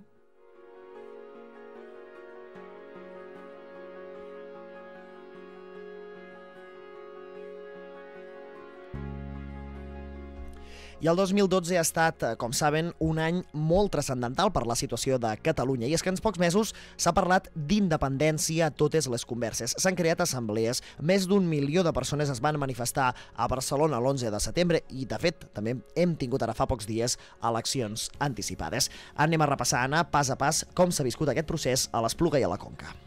A principis de març es va constituir a Montblanc l'Assemblea Ciutadana de la Conca de Barberà per la Independència, una assemblea que va sembrar la independència presentant-se per tots els pobles de la Conca i fent tota varietat d'actes que tot seguit repassarem per ordre cronològic. Abans, però, l'Ajuntament de l'Espluga va aprovar per unanimitat de tots els grups polítics deixar de pagar els impostos a Hisenda de l'estat espanyol per ingressar-los a l'Agència Tributària Catalana, això quan sigui possible. Amb això, l'Espluga es va convertir en el quart municipi de Catalunya que es sumava a la campanya Diem prou d'insubmissió fiscal Social a través de l'aprovació de la moció del grup municipal d'Esplugins Independents amb suport al moviment Diem Prou. Uns mesos abans, però, l'alcalde de l'Espluga no ho veia gens clar. És un tema que aquí és on realment veurem fins on són capaços d'arribar. Uh -huh. Perquè, a veure, jo feu com a Ajuntament pot tenir unes repercussions, però quan jo ho haig de decidir ja poso la farmàcia, eh, els diners que retenim els treballadors de la farmàcia, a més d'ingressar-los a Hacienda de l'Estado o ingressarem a l'Agència Tributària de Catalunya, doncs jo he de saber que l'endemà o cap de 5 dies tindré un recurs de, de, de l'Hisenda vostè em deu no sé què, no sé quantos i a partir d'aquí problemes mil. Uh -huh. A més, eh, per altra banda, el govern espanyol va posar en el seu punt de mira els ajuntaments de l'Espluga i Montblanc per haver aprovat els seus plens adherir-se a l'Associació de Municipis per la Independència o declarar-se moralment exclosos de la Constitució. Va ser el 10 de març quan es va constituir a la Barcelona l'Assemblea Nacional Catalana en un acte multitudinari i emotiu al Palau Sant Jordi. La territorial de l'Assemblea Nacional Catalana Conca de Barberà per la Independència i va ser present amb més d'una trentena de participants. L'acte l'acte fundacional de l'Assemblea va ser dissabte i va oferir alguns discursos, un full de ruta i moltes cares conegudes. Just començar l'estiu, l'activitat de l'Assemblea Nacional Catalana a nivell comarcal es va concentrar a l'Espluga i és que hi va tenir lloc la seva presentació oficial. A més, es va constituir la secció local de l'Assemblea amb tots els socis de ple dret i espluguins que en van voler prendre part. Durant l'acte de presentació es va comptar amb diverses personalitats i amb la cantautora Meritxell Jané. Una vegada presentada l'Assemblea Assemblea dins la campanya de mobilitzacions que impulsava l'Assemblea Nacional Catalana, es va fer una marxa automobilística per les comarques del Camp de Tarragona que pretenia sensibilitzar les poblacions per on va passar sobre la voluntat de molts catalans de guanyar la independència de Catalunya. Els conquencs també van participar a l'inici de la marxa cap a la independència convocada per l'Assemblea Nacional Catalana a Lleida i que en total va comptar amb unes 3.000 persones. Des de la Conca mm, es va organitzar una caravana de cotxes per anar a l'acte nacional d'arrencada de la marxa. La concentració es va fer a la plaça del Casal per arribar a la concentració que es va fer als camps Elisis de Lleida, on es van rebre totes les caravanes organitzades des d'arreu del país. I dins d'aquests actes que s'iniciaven a Lleida va arribar el moment que la Conca parlés ben alt. Unes 1.500 persones van participar a la Marxa per la Llibertat, l'acte central a les comarques de Tarragona de la Marxa per la Independència de l'Assemblea Nacional Catalana. La marxa va començar a Montblanc, on es va fer el recorregut de la Marxa eh, de la Llibertat per la prohibició de la policia i recorda aquest esdeveniment es va inaugurar una placa commemorativa a la plaça Major de la capital de la Conca. Després, de que la, després per la carretera Nacional 240, la manifestació va arribar a l'Espluga de Francolí, on els bastoners i els grellers de la vila van rebre els 1.500 participants. El recorregut va seguir fins a Poblet, on es va fer l'acte central que va incloure parlaments de la presidenta de l'Assemblea, Carme Forcadell, dels antics marxaires, Àngel Colom, Arcadi Oliveres i també del controlador de la Conca per la Independència, Enric Mercader. El moment culminant, però, va arribar el dia 11 de setembre. L'Espluga de Francolí va celebrar al matí els actes institucionals de la Diada Nacional de Catalunya, com és tradicional a l'Ermita de la Santíssima Trinitat. Els actes, però, van comptar amb menys participació de l'habitual, ja que es van eh, adaptar a la logística de la Marxa per la Independència, suposant l'eliminació del dinar de germanor perquè els espluguins poguessin participar a la manifestació a Barcelona. De la Conca, més d'una desena d'autocars van marxar fins a la capital catalana. Però el paper de l'Assemblea Nacional Catalana no va acabar amb l'11 de setembre, i és que el passat 10 de desembre l'Assemblea va convocar tots els conquencs a manifestar-se per donar suport a la immersió lingüística i al català a l'escola, després de l'anunci de l'avantprojecte de la LOMSE, impulsat pel ministre Huert. Unes 150 persones es van concentrar aquell dilluns a la tarda a la plaça de la Vila sota el lema Per un país de tots, l'escola en català.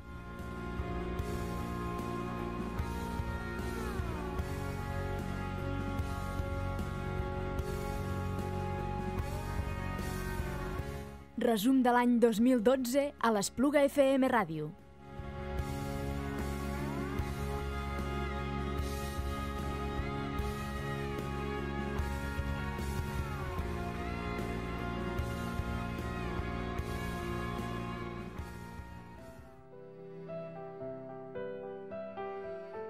Successos més destacats d'aquest 2012.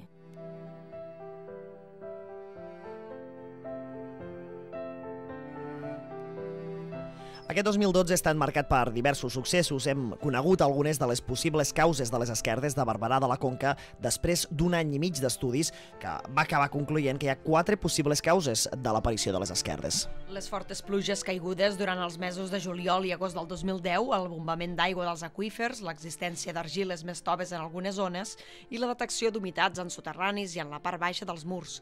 L'Institut Geològic Català ha continuat fent el seguiment i control de les esquerdes durant tot el 2012 a l'espera de determinar-ne la causa i buscar possibles solucions.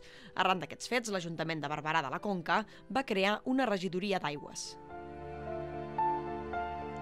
També ens han afectat, però, fets més tràgics. El passat mes de gener va morir una dona de Santa Coloma de Caral assassinada a mans del seu marit. Dies després, l'home es va suïcidar a Sabadell en presència dels Mossos d'Esquadra que custodiaven el detingut.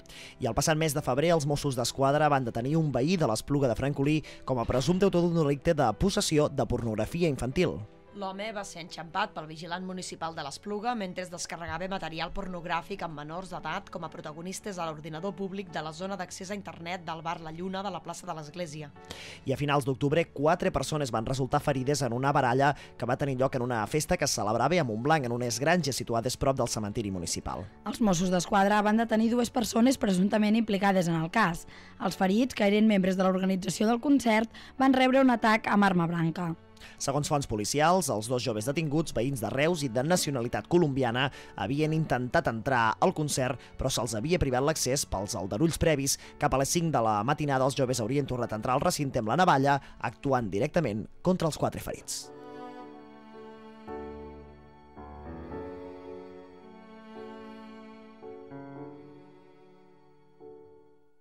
I arribem al final de la segona part d'aquest programa especial del resum de l'any 2012. D'aquí uns instants tornem amb tots vostès en el tram final. Hem de fer un repàs a la meteorologia d'aquest any i també en el terreny esportiu. De seguida, avui en directe aquí al 107.4 esplugafmradio.cat i youtube.cat.com perdó, barra esplugafmradio. Fins ara.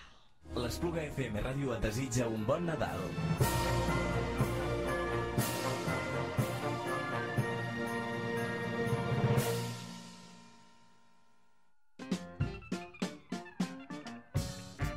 La joguina que s'ha trencat va ser la teva primera joguina. Va guanyar totes les batalles contra els robots dels teus amics, et va protegir dels monstres de sota el llit i va cedir-la amb orgull al teu fill. No es mereix un final millor? Dona als teus residus l'oportunitat de convertir-se en nous recursos. Porta a la teva deixalleria més propera els teus aparells elèctrics i electrònics i dona una segona oportunitat a aquells objectes que han finalitzat la seva vida útil. Perquè un altre final és possible. Fundació Ecotic.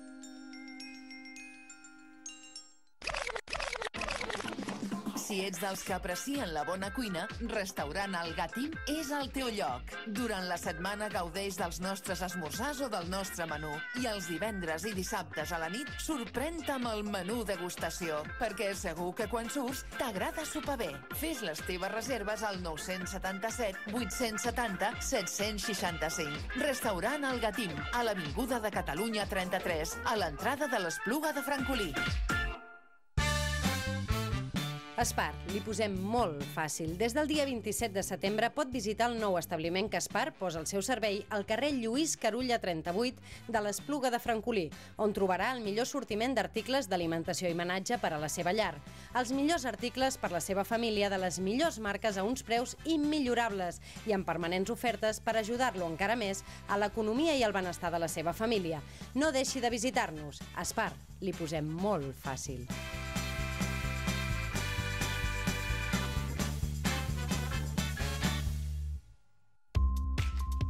Connecta't al català. Vine al Consorci per a la Normalització Lingüística i aprèn català. Des del nivell inicial fins al nivell D. A classe o des de casa. Tens més de 140 punts de servei arreu de Catalunya. Entra al web cpnl.cat. El mòbil que t'has canviat, amb ell, va ser el primer a presumir l'escola. Li enviaves missatges cursis a la teva parella. Amb ell et van trucar per la teva primera feina i vas plorar quan et va permetre saber que seria un nen. No es mereix un final millor? Dona als teus residus l'oportunitat de convertir-se en nous recursos. Porta a la teva deixalleria més propera els teus aparells elèctrics i electrònics i dona una segona oportunitat a aquells objectes que han finalitzat la seva vida útil. Perquè un altre final és possible. Fundació Ecotic.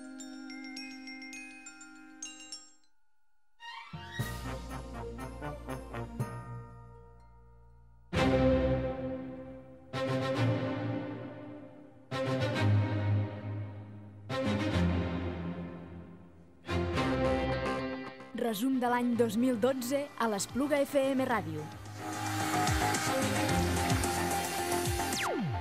I encarem el tram final d'aquest programa especial que avui els ofereix tot l'equip dels serveis informatius de l'Espluga FM Ràdio. Com cada 31 de desembre o cada 1 de gener estem eh, plegats aquí treballant per oferir-los un resum de les principals notícies dels últims 12 mesos a l'Espluga de Francolí i la Conca de Barberà.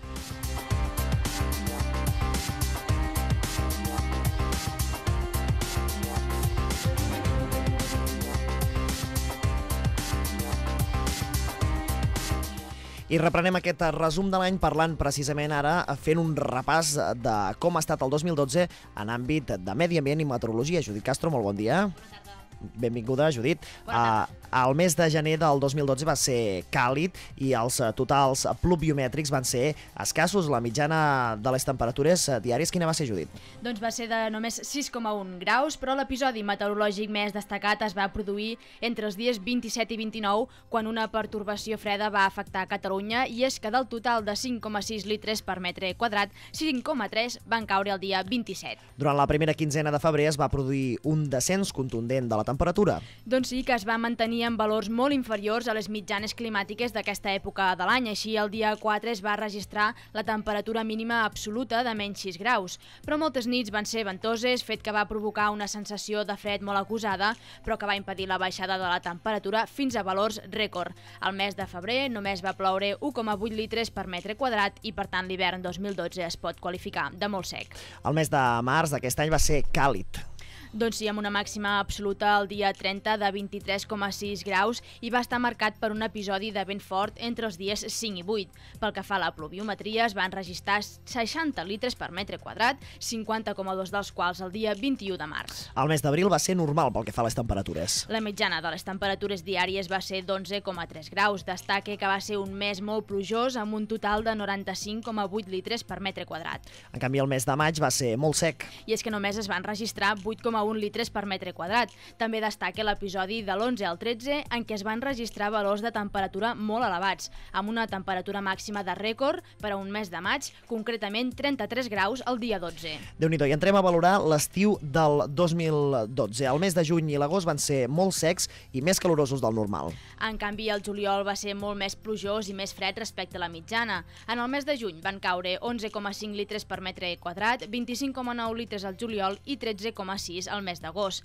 Respecte a les temperatures, la mitjana de temperatura diària va ser de 21,8 graus al juny, al juliol va augmentar només 4 dècimes, 22,2, i a l'agost 24,4. Un agost en el que vam arribar als 38,2 graus de temperatura màxima absoluta. I arribant ja a la tardor, en aquest cas ha estat normal pel que fa a temperatures totalment dins la mitjana climàtica. Eh? En canvi, pluviomètricament, el setembre va ser força plujós, amb 46,4 litres. El mes d'octubre va ser molt més plujós encara del normal, amb un total de 150,8 litres per metre quadrat, i en canvi el novembre va ser sec, només es van registrar 32 litres per metre quadrat. I finalment hem entrat a l'hivern. Aquest mes de desembre va començar amb unes temperatures baixes, però això sí, normals dins la mitjana climàtica. Tanmateix, però hi ha hagut episodis com aquesta darrera setmana en què les temperatures han sigut força suaus. Aquest últim mes només han caigut, però, 2,5 litres per metre quadrat. El temps, amb Judit Castro.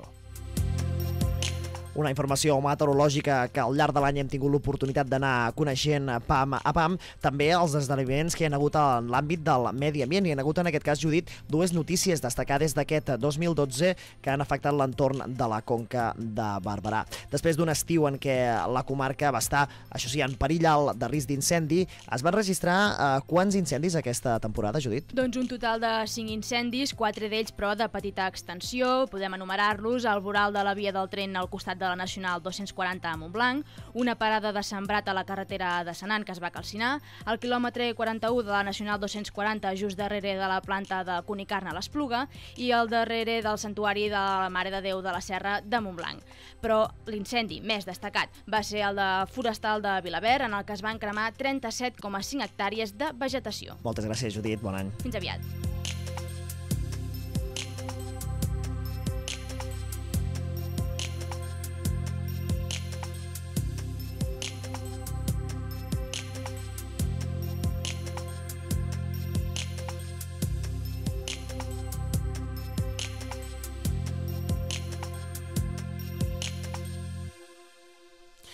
I arribem al tram final d'aquest programa amb el repàs esportiu.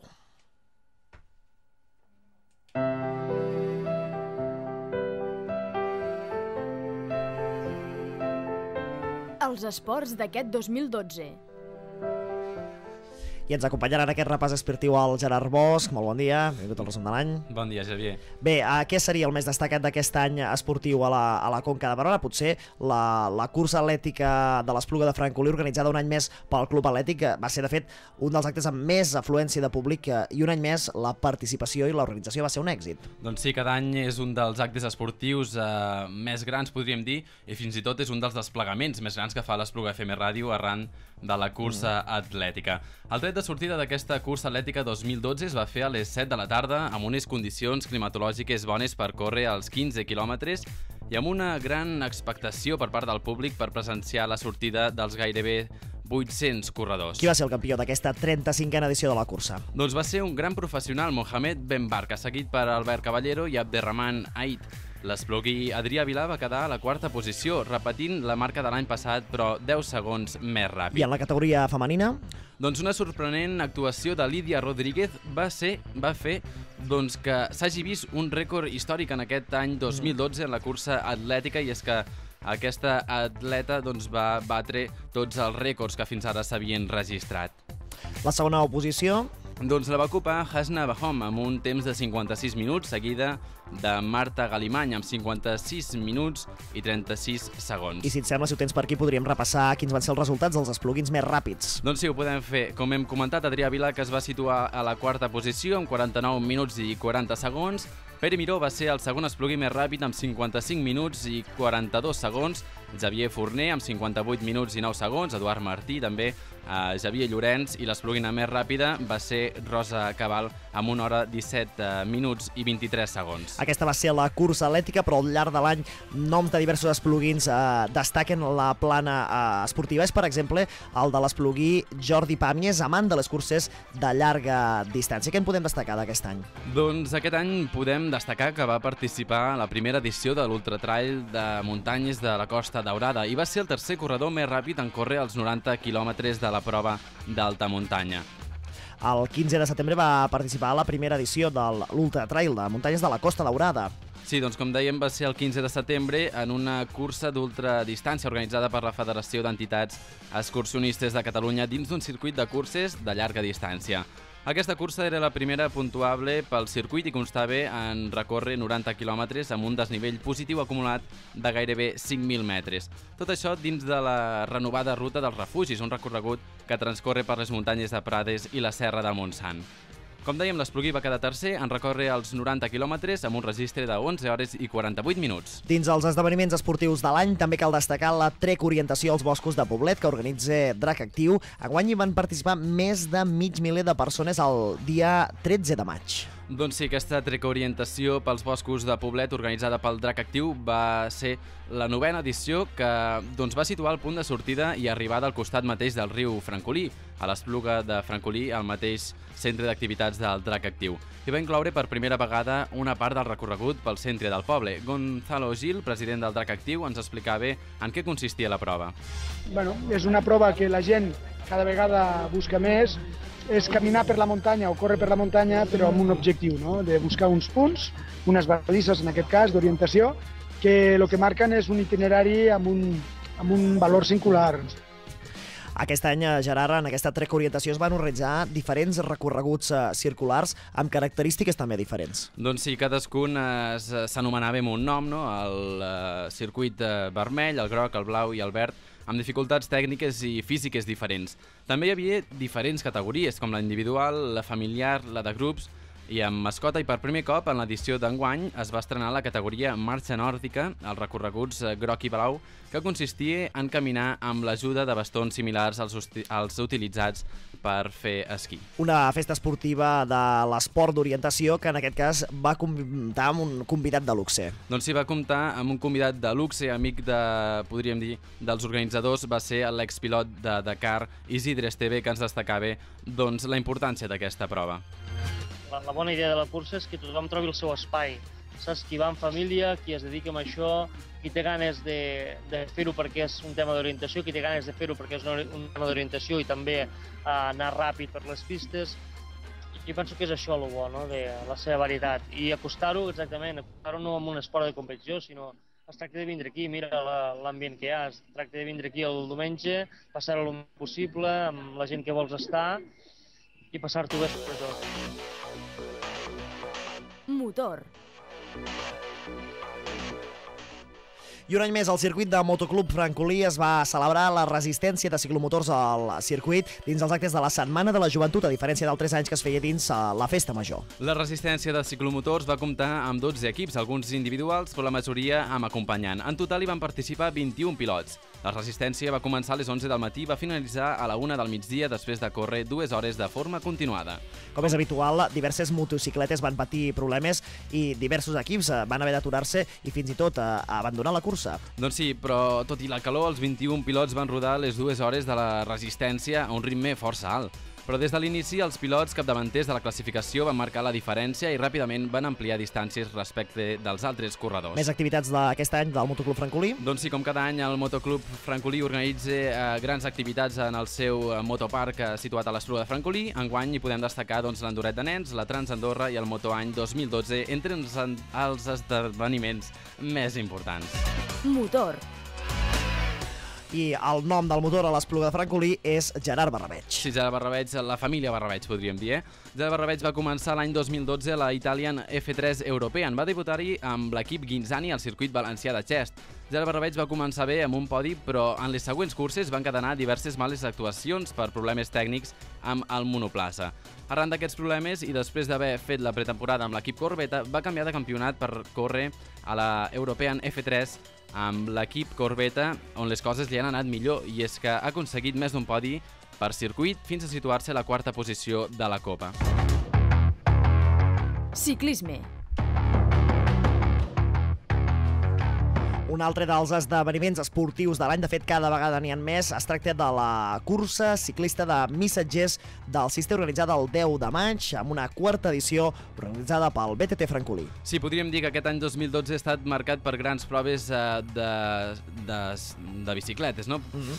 I eh, en aquesta prova de missatgers del Cister hi van participar gairebé 400 eh, ciclistes. Els participants podien fer el recorregut més llarg d'uns eh, 55 quilòmetres i d'un nivell mig alt un trajecte mitjà d'uns 34 quilòmetres i d'un nivell més eh, mig.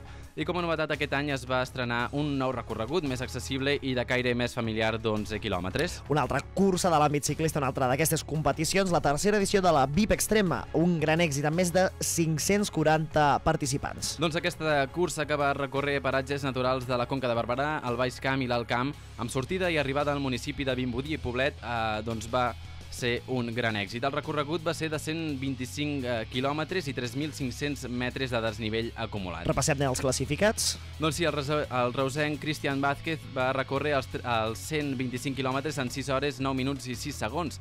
La segona posició en la categoria masculina va ser per eh, Josep Turon eh, Oliver de les Borges del Camp i la tercera posició va ser per a Fèlix González de Barcelona. En categoria femenina, Laura Baleta eh, va recórrer els 125 quilòmetres amb 9 hores, 18 minuts i 38 segons.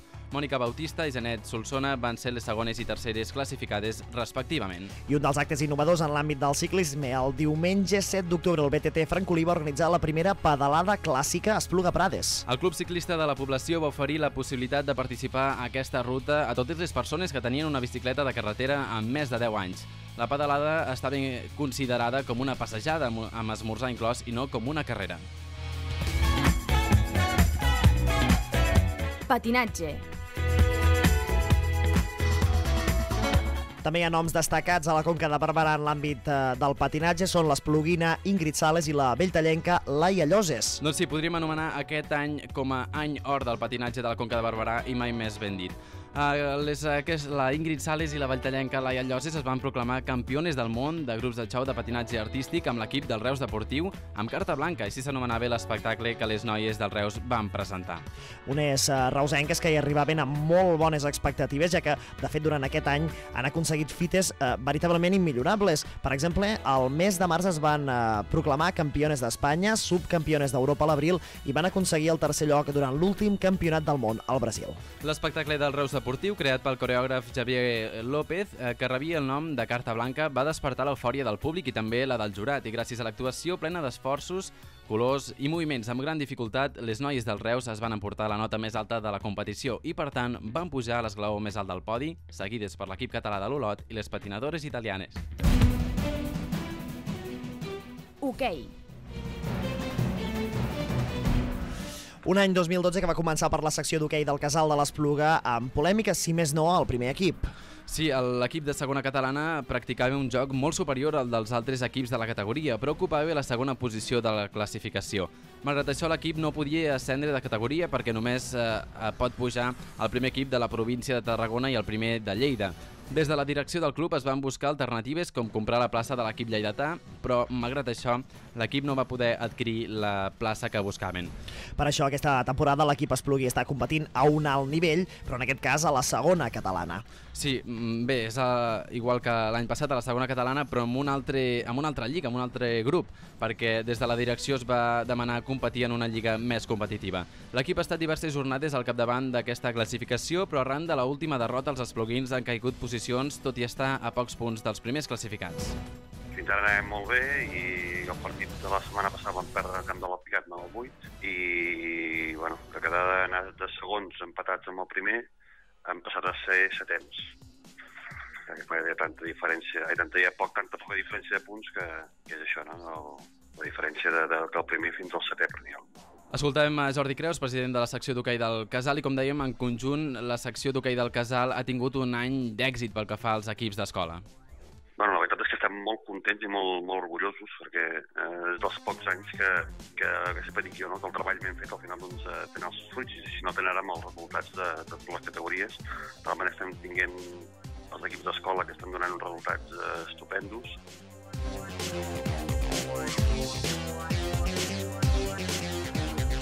Futbol.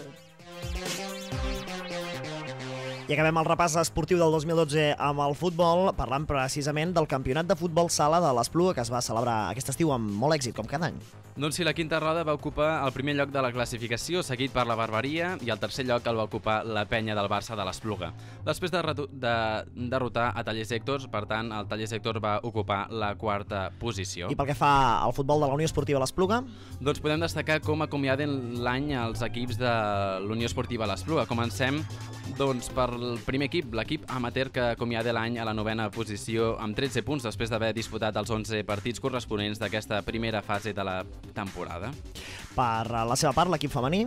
Doncs l'equip femení ha acabat l'any a la tercera posició amb 22 punts dels 33 possibles. A més a més, a destacar, Gerard, que a la fira d'aquest any es va presentar la nova penya Conca Nàstic. Una penya per donar suport a l'equip grana en un mal període de la història del club. Així ho destacava el president del Nàstic. Eh, als moments, ara comentàvem amb l'alcalde, no? que mm, inaugurar penyes quan les coses funcionen bé és molt fàcil, però inaugurar penyes quan les coses no van bé i, i ara en aquest moment el Nàstic no està vivint la millor situació és encara més bonic, no? perquè home, demostra una mica pues, el sentiment i en aquest cas pues, home, jo tinc que estar molt content a, a tota la gent de l'Espluga per haver passat en aquest moment a inaugurar aquesta penya. No?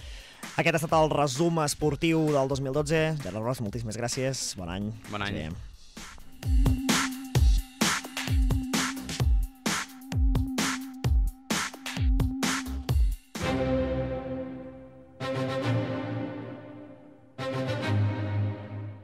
Resum de l'any 2012 a l'Espluga FM Ràdio.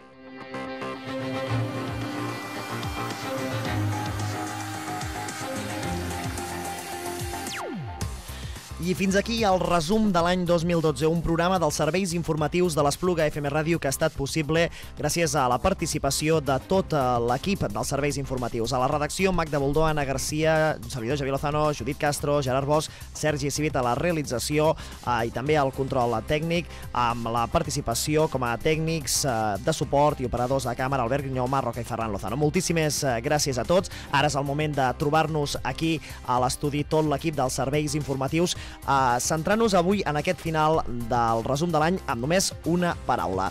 Moltíssimes gràcies. Sens dubte, els nostres oients i la societat civil han demostrat aquest any que s'estimen l'Espluga FM Ràdio i gràcies al suport de tots, amb la il·lusió i la motivació d'aquest equip i l'ajuda de tots els nostres oients i tota la nostra societat, avui tornem a ser aquí al 107.4. Per tant, és el moment de desitjar que aquest any 2013 sigui molt millor i puguem seguir creixent i puguem seguir al seu costat cada dia. Obrim el cava i amb tots vostès volem celebrar aquesta final d'any d'aquest 31 de desembre en aquest canvi cap al 2013. Molt bon any!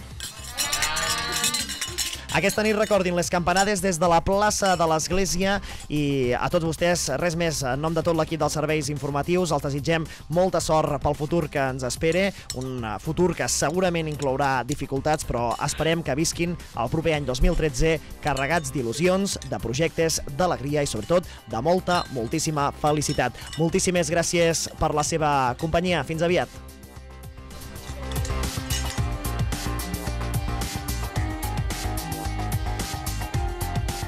Resum de l'any 2012 a l'Espluga FM Ràdio.